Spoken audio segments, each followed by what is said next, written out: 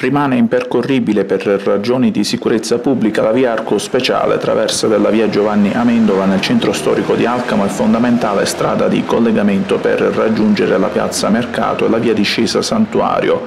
Occorre infatti fronteggiare e risolvere una situazione di rischio per la pubblica incolumità. Sulla strada in questione si affaccia un balcone pericolante che fa parte di un edificio privato.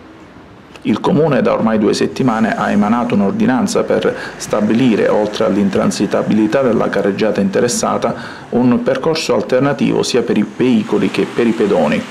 La chiusura della strada si rende necessaria a causa di un distacco di parti di un edificio, come ha già testualmente spiegato nell'ordinanza il comandante della Polizia Municipale Giuseppe Fazio, il quale ha dichiarato che dopo l'intervento dei Vigili del Fuoco non si è ancora a conoscenza dell'avvenuto ripristino delle condizioni di sicurezza dell'immobile che risulta non abitato.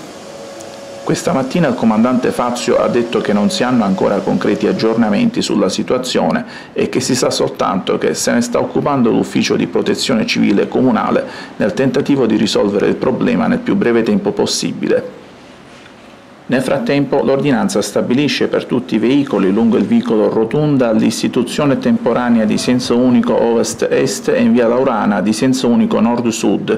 Il Comune di fatti si è attivato per consentire un collegamento attraverso il tratto di via Torquato Tasso ad est della via Mendola. In queste immagini vediamo le strade interessate che fanno parte di un quartiere densamente abitato e i cui residenti e gli esercenti attività commerciali della zona nel frattempo lamentano disagi.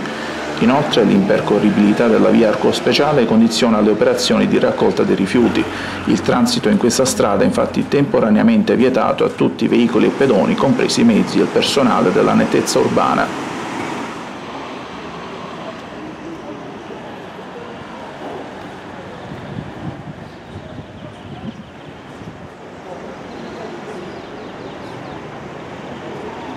Scopo